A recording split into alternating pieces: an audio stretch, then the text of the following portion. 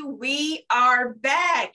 Indigo Sage and I are back. We are talking Love During Lockup, Season 1, Episode 2.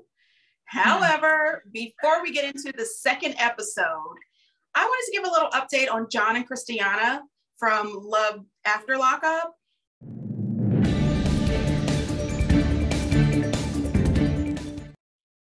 Turns out that, remember on the final episode, John had cut his hair and he hadn't heard from Christiana. It turns out that Christiana and John did get back together, but now they have officially broken up. They have separated, and it looks like it ended on a really bad note. Uh, Christiana did make in a statement on her Facebook that she had fallen off the wagon a couple of times, but she is back on. And I would like to just say that I'm wishing the best for Christiana. I Yes, think me too. that she's one of my favorite people from the whole franchise. And I am rooting Yeah. for Christiana. I am hoping that she can stay sober and continue to move in a positive direction, whether it's with or without John. Any word, So- any word, may I ask any word on her mom? Nothing. I did not hear or see anything on the social media about her mom as of right now. Wow. Good luck to, to the whole family. And good luck to John too, because I'm sure, you know, this is wife number four or five that uh, he has lost. Um, I think you need to stop stop marrying, buddy, because everybody knows I love Christiana, John not so much. Anyway, we are moving on. And listen, this episode has driven me to drink. I'm telling you, these people are a full-on wreck. And we start where we pick up right where we left off with Indie and Harry. Honey, what did you think? Mess, mess, mess, mess. Now, um, I like the mama. I like the mama. I like the mama. And I like what the mom said when she said, well, first of all, you know, it's nothing like your mom to to tell your truth for you or to check you, so to speak, because when she asked, Are you giving him money? And she was went to stuttering, uh, uh, uh. She said, You tight on money. So I know you know whether or not you gave him money and you know how much you gave him if you gave him some money. So you gave him money. You know, it's it's nothing like a mom to come in and check you, spill your tea. I am here for Yolanda. Okay. Yeah. I like her mama. Her mama said, listen, you know, when it comes to my kids, if a man is involved, I have to PI them. She's Yes. got to investigate. And my question was, Yolanda, as long as she has been dating him, which I think she said it was like nine or or eight, eight or nine months, why has he not been PI'd previous Yes. to this? Because the first two weeks that she told me that she had fallen in love with this inmate, he would have been investigated. We need to know. I do appreciate that her mom did tell her that if she thinks that she's going to Ohio alone, she can forget it. She's Yes, coming, girl. and she's gonna find out everything. I said, Yolanda, you are a woman after my heart, ma'am. That's my kind of mama. Okay, I saw I saw me. So I, I like her bringing her back to reality when she said, "Why would he ask a woman with two kids for some money?" Like okay. you've got to ask yourself that. You know, I, I agree with her mom. And I do too. And now let me say this: what I really liked is when she asked. Okay, what I didn't like when Indie was on the phone with Harry and crying, talking about "Don't disappoint me." Okay. Then when she was packing to move to Ohio and she kept wanting to get reassurance from him, he said something about, I don't know, I'm not sure, do what feels good to you, do what's in your heart.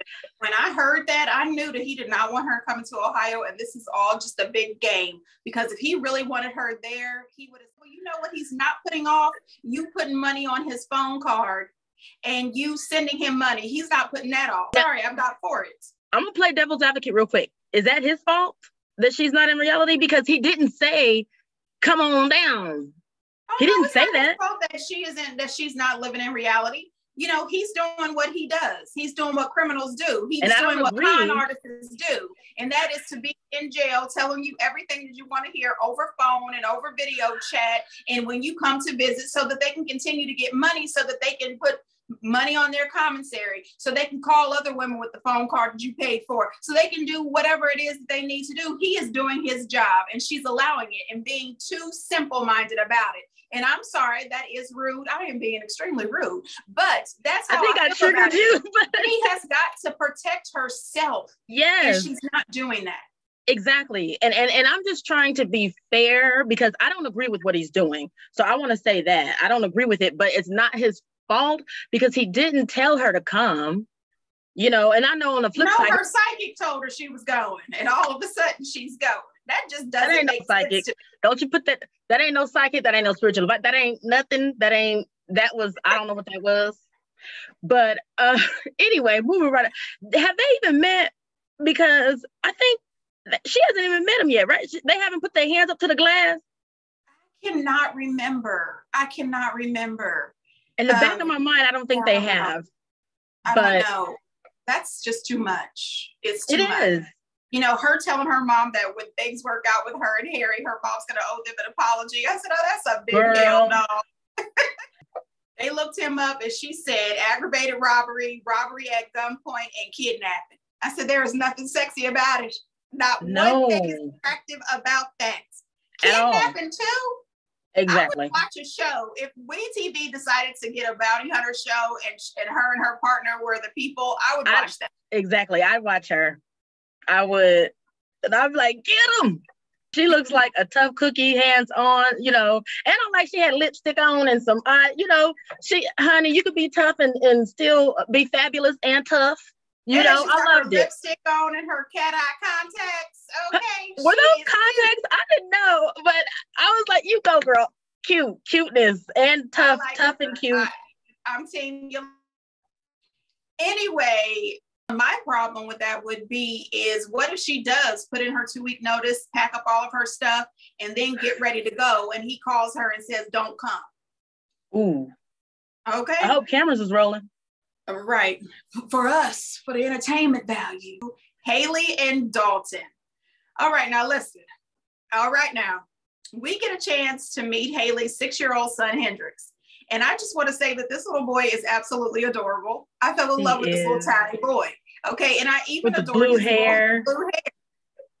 I thought that blue hair was super cute. But my problem was is they had this discussion in front of the little boy and yes. I wasn't a fan. You know, he did at one point run off to feed popcorn to the ducks. Right. I appreciate her son's uh, father. You know, he says that they are friends now. I guess she was engaged to him, but they broke up about three years ago because mm-hmm. left with her best friend of 10 years while her and her son were there in the same house asleep. Now that's grounds for everybody getting hurt. You hear me? There's going to be some smoke in the city you don't sleep with my man and you supposed to be my best friend and then you slept with my best friend both of them deserve to get smacked a couple times under anyway, the roof you know and then he mm, i had yeah, to separate that i had to separate that from what he's getting ready to say, you know, like about his right, son. Right. You know, I had to separate that. That I guess you can be an a hole really you you can be not i guess you can be an a-hole but then still be good to your kids yeah i know a few of those guys. I know yeah that's what like i said that. yeah they are not the best when it comes to being married and they're not the best when it comes to being a relationship but yeah. they are really good when it comes to being a dad. So i've yeah. seen that. Yeah yeah. and his concern. He says that their son is really young and he doesn't want his son going to prison to visit dalton. He says, you know, Dalton's not his father, and he doesn't want his son's earliest memories or hanging out during prison prison visits with mommy's boyfriend. And I am 100% with him. I don't appreciate that. You should not bring that child down to the jail to visit this dude. Period. You know what else was really too much for me? her buying flowers and setting up a, a, a, date night for her and Dalton um, over the phone, and then making a big chuck roast with no seasoning on it and calling it a steak. I said, "What the hell? That is a chuck roast. That is not a steak, and you didn't put not one nab bit of seasoning on it.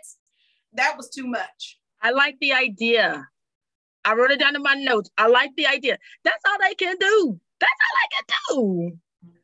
So I'm I, I like the idea and the effort, you know, and she said he needed a stable home and all of that. What I did not like though was that she made an appointment to talk to his dad without his okay or his knowledge, it seemed like, and he doesn't seem cool with that. I don't like that. And he didn't seem like he knew. He didn't seem like he was cool with it. What do you think about that? Well, first I thought you're talking already about having a child with him. You're talking about buying a house and then having him live there with you. First of all, you got $80,000 from the settlement. You have already spent way too much money on this dude. And now you're trying to get yourself a house, and you should because you work every day and you should want a home for you and your son, but not you and your son and this loser, period. Um, second of all, you keep telling us that you work as a housekeeper. You could have started your own business with the money that yeah. you used to give to this dude. And then it was just so weird that out of the blue, um, I found your father on Facebook and I yeah. meet up with him. And he absolutely was not okay with that. And I noticed that she told him, right. That's not cool. I, I don't understand what was her purpose. Did you find her purpose somewhere in there with a flashlight of the dad? Get embedded into his life and she is trying to be embedded into his family and which better way to be embedded into somebody's family than to get to know their parents? That's creepy. No, that's what's creepy is not her wanting it. What's creepy is her seeking him out and finding him on Facebook and without his knowledge and setting up to meet him. That's creepy. That's creepy. That she's going to meet his father and she's going to find out who he really is. And she's going to find out that he is nothing like this sweetheart genius GED taker. No, ma'am. He is a real life criminal. Quit playing. I think that's what she's going to find out. She said he was a genius. Uh huh, because he passed his GED. All right, so now we move on to Santiba and Tally. And I hope that we're saying that right because I'm not really sure. They just introduced us to them this episode. What I absolutely love is that she lives in Maine. And I am a crazy person when it comes to lighthouses. And I was oh. so excited to see them on the water in the lighthouse and everything. Yeah. I was just smiling from ear to ear. I was also very proud of her for losing the 92 pounds. Yes. Um, so congratulations for that. But one thing that took me off just a little bit, it threw me off a bit. It said at the bottom of the screen that she was 39. Um, I, I, I don't mean to be rude, but I don't buy it. I mean, there is nothing about that woman that says I am 39. She is given all of, you know, 49 or 50. But I don't mean that to be nasty. I'm just saying. That's my opinion. Uh, please get down in the comments and let me know. Does she look 39? Am I wrong? Something's off. What no, I agree with you. I agree with your assessment. Okay, well, girl, listen, congratulations on the 92 pounds. You rock. Yes. So yes. she says that she met Tally on a prisoner website. Girl. Now, what was odd to me is that she said she watched some kind of crime program and found some Girl. lady who met her man on this crime site. So she decided to do the same thing. And I said, well, you know, I love, I watch Discovery ID all the time. And I have never wanted to reach out to an inmate. I don't get it. It's not for love. You know, in the fact that she's he's at a federal maximum security prison and she tries to say that he's not a bad guy like the other people in there. Well, why is he there, man? Girl, I, I heard her say that, and I was just like, did I just hear her say that? He's not, he's in there with the bad people, the, the, the biggest, baddest people, but he is not like them. Huh? That was crazy. Okay, so what I liked about the friend was that she reminded her that, hey, when you were in that marriage, you know you ran through money when you was married and you know and y'all got a divorce right? So it's one thing to to just tell someone hey don't give them money but it's another thing to be able to back it up. So i was glad that the friend could back it up. And then i was concerned that she admitted that they had they had met. Yeah. She Why says would him- a couple of pictures of each other but they have never met and they do all of their communication over the phone it's and emotional. that he's been able to sweet talk her out of two thousand dollars over the last nine months. That's and I sad. said, you know what? No, ma'am, you are not getting two thousand dollars for giving me a couple of compliments and calling me baby. Okay. Period. I ain't even gonna say what I wrote because I, I wrote What it. you gonna and- get from me is a thank you. Thank you, sir. That was I was that was sad that you know because she, he gives her compliments, girl. She can go on any dating site and get compliments. Any. It doesn't have to be. So we're moving on to Tai and Hottie. Now, honey, listen. Honey, listen. I wrote so much down. I was on a hundred and eighty freaking thousand. A hundred and eighty freaking thousand. This woman is studying to be a mortician. She is standing over somebody's dead body. I don't know if they are embalming or if they're about to put this woman's makeup on. I have no idea what is going on. It sounded like it was an embalming situation, and her phone is ringing off the hook, and they are talking and cussing and everything over somebody's grandma. I thought that was disgusting. Kathy? Um, first of all, I can't understand why We TV is all right with filming at a funeral home. Number one. Number two, What you want them to do? as far as I'm concerned, if you do have your cell phone in that room, in that room, it should be on vibrate, and you should mm. only answer it if it's an emergency involving your children or another family member. Not answering it because it's your prison vision board hotline situation. And and here's the thing. I noticed the boss had said you're sanitized. Um, so the phone actually shouldn't even be in there. Once you sanitize yourself, the phone is one of our our our smartphones, even though we love them, they're one of the most contaminated Absolutely. things that we can pick up. Okay. She said that she has multiple, you know, inmates, and they're like, um, it's like dating dating inmates is like dating Mr. Potato Head, you know. She just switch them out. And then and then she followed that up with girl, she followed up with said, I hope he ain't trying to play me. now wait a minute.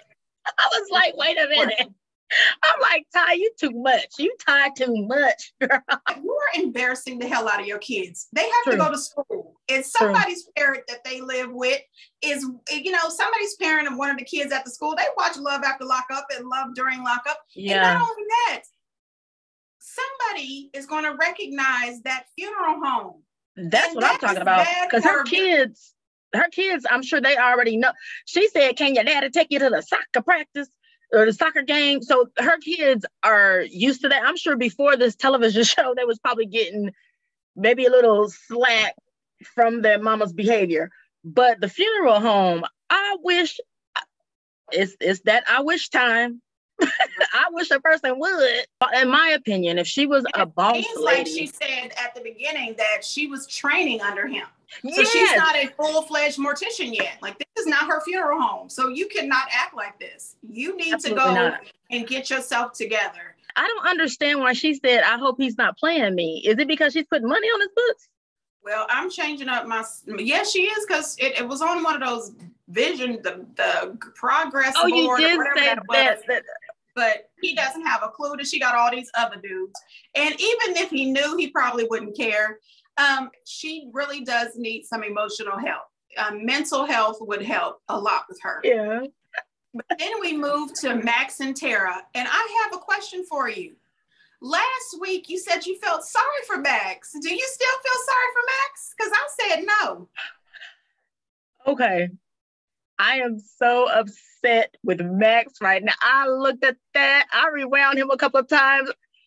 I couldn't shake my head hard enough. My neck hurt. Okay. I said, Max, God damn you, Max. Okay. I don't know what happened. He bamboozled me. I know he did not bamboozle you at all. Not at all. maybe one day I'll learn, but I thought he was sweet. He made it seem like he was brokenhearted. And I was just feeling so down for him.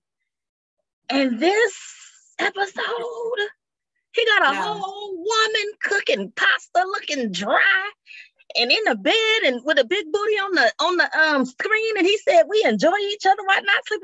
I was just so Now listen, I knew from the first episode that this dude was thirsty for fame because he was all about his body, taking all those pictures. I'm a model, I'm a this, I'm a that. You know, we find out about Eliza or Eliza, Girl, whatever. She lives at the house and she is all into him. You know, they have an OnlyFans, and I came across uh, a YouTuber who I like to watch because she does all the gossip, like what happens on their social media and stuff. And you're gonna and deliver I some more?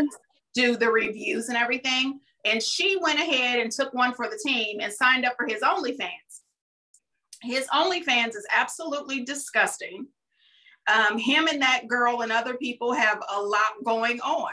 And I mean the sex. All over that You can have OnlyFans sex on page. OnlyFans? The OnlyFans, okay? It's, it's sex sex? sex sex. Um, Oh. If you can see it, if you pay ten dollars a month for his OnlyFans, or pay one ten dollar fee and then cancel later, but that'll never happen for my myself. I won't be doing that. Um, he's also some sort of escort. Um, yeah, he's quite nasty, Max. and he's all about trying to become famous.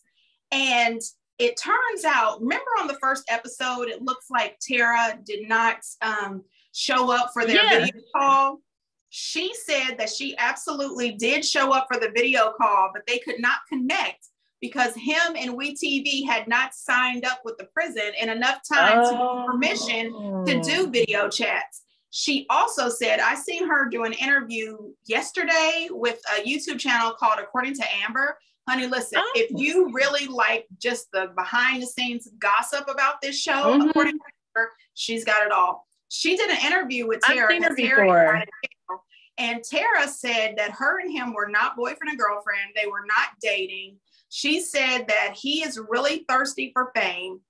And after talking just to her, dropping like, this bomb on me like this. You just like after talking to her Yeah. once or twice, he asked her to be on the show because he was really trying to get his uh, OnlyFans and TikTok to blow up. Because he's been trying to, you know, do this OnlyFans and TikTok for a long time, you know, completely blown up.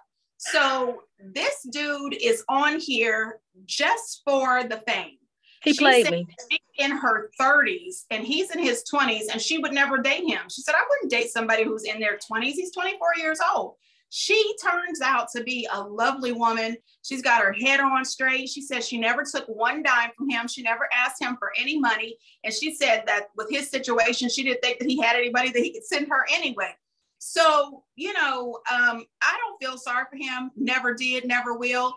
And I, I really don't need him on this show. It seems that he's got that girlfriend or he's got that roommate that wants to be his girlfriend. And the only reason why he is not her girlfriend, even though they share a bed, they have the sex, they promote their OnlyFans together. I don't understand. He only did this so he could be on this show. And I don't think he should be rewarded for that. Horrible. Hmm. I, then you just busted any piece of bubble I had. It is gone. Yeah. Thank you for that. I have to take all that in. I was very upset. I was bothered. I was She also said on the interview that they tried to come to the prison to film her getting out with him, Oh. and she told them no because she had already had plans to have her two children and her family pick her up from jail. And she said, "No, I'm not his girlfriend." She said, "I want my kids." And so Okay. she told them absolutely not. So I don't think that we're going to get a lot of Tara. We might get one episode with her, maybe over the phone or something, but we're not going to get a lot of her because it wasn't a real thing. He was just allegedly using her, you know, to get on the show. And And, so all edit- of this is alleged because I wasn't there. I'm just regurgitating what Tara said and what I saw regarding his OnlyFans. But in my opinion, I thought that before I even saw it. As soon as I saw the episode, I said, this dude is only on here for TV because if you have a beautiful roommate like this who really wants to be with you, why are you trolling prison websites? Well, I, I, okay, wait a minute now. We didn't find out about Alyssa until the second episode. That's what I'm saying. At the oh, beginning Oh, of that oh, episode, okay, okay, okay, her, okay. Said, why would you be trolling if you've got this beautiful girl living here who wants to be your girlfriend? Yeah, yeah, that didn't make any sense. And I actually respect her for saying, you know, coming out and saying, now here's what it really is. You know what I'm saying? It's this, it's that. And I respect her for saying, because I'm sure they probably was going to probably pay her to allow them to film all of this or whatever. And she said, no, my children come first. So right. kudos to her. She ain't even on my scale. Yeah. I I love that. She's, I, I liked her. I loved her in that interview. I think she's a good person who has made some mistakes in the past, but she is trying to clean up her life. And that is something and that's evident. Yeah. So I, I like her and I do hope that we get her a little bit on the show just so we can see her a little more. Yeah. Um, but moving on to Girl. Gabby. Now, honey, listen.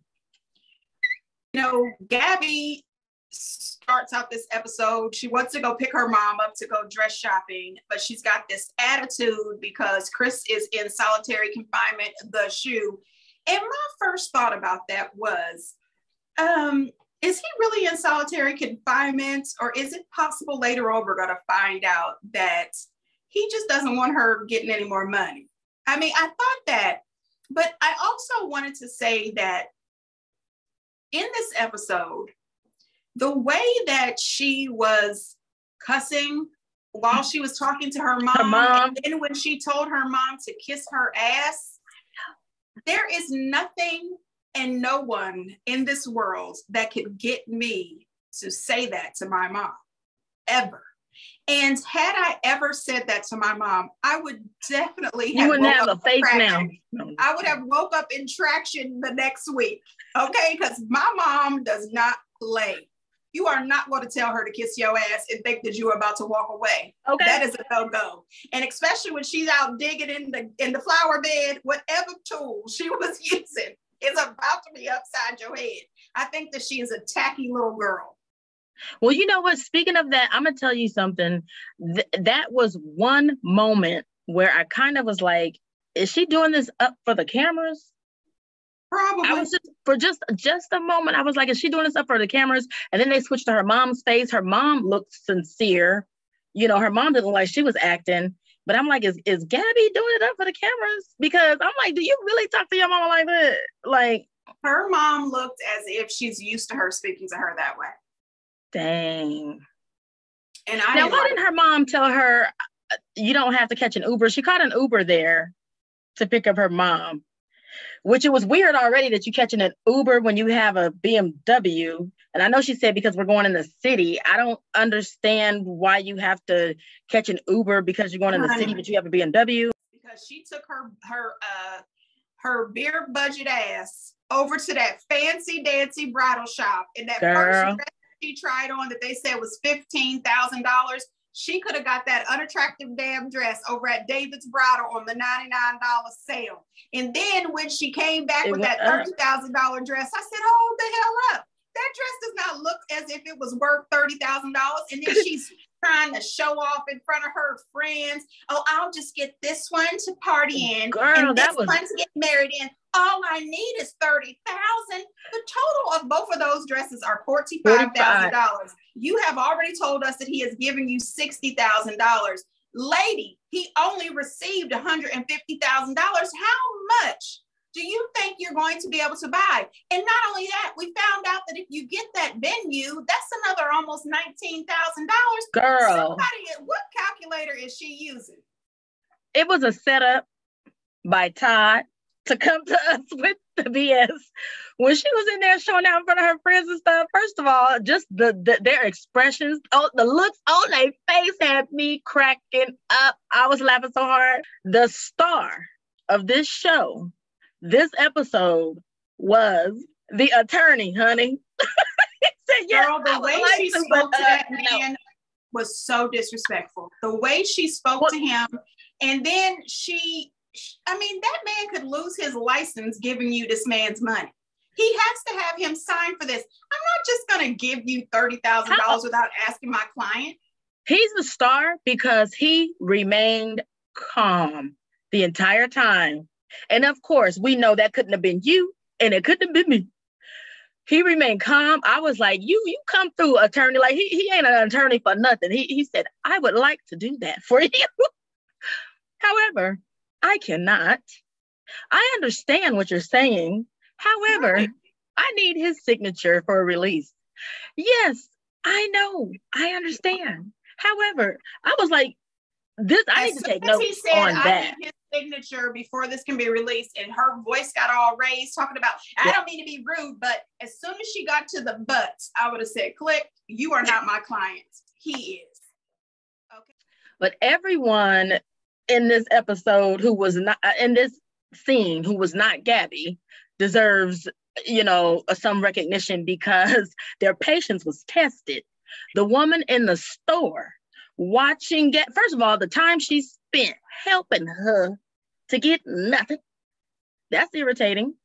Then to watch her fuss about it rip that tiara off throw it on the ground. That tiara didn't do nothing and then she stomped away in the gown. I would have you know? made her pay for that tiara. I'd have told her, "You're going to need to pay for this. I don't know where you're going to get the money, and friends, okay. but you're to pay for this." I was like, you are so disrespectful throughout this your entire scene. Disrespectful to, to your mom, disrespectful to the attorney, disrespectful to the store. And, and gassing and, up your friends with all these lies. Yeah, I think he needs to cut the money off and see if she sticks definitely. around. Because to me, it just seems as if she is all about this big wedding, this big diamond, this money, yeah. But what happens when he gets out and you have no money and he has no money and they repo the BMW and all that other stuff? I, I don't know, peeps and sages. Get down in the comments and let us know what you think. I think this season is going to be absolutely entertaining. I am here for it. And I did see the previews for the new uh, Love After Lockup uh, coming in March. And that looks as if that is also going to be entertaining because we have new couples now, what I'm waiting for is the life after lockup next season because Dante is going to be on there with Lindsay. And Lord have mercy, we know she's about to play him for an idiot. Which I just saw hard. a clip of Lindsay, you know, when she was in that man's office throwing stuff and everything. I said, and Deontay, I'm assuming Deontay saw that too. Yes. And he wants that. Yes. He says that his mama is not talking to him right now. And I can understand okay. it. She's of the mess. Anyway, you guys, like we said, get down in the comments. Let us know what you think. And until next time, bye. Bye.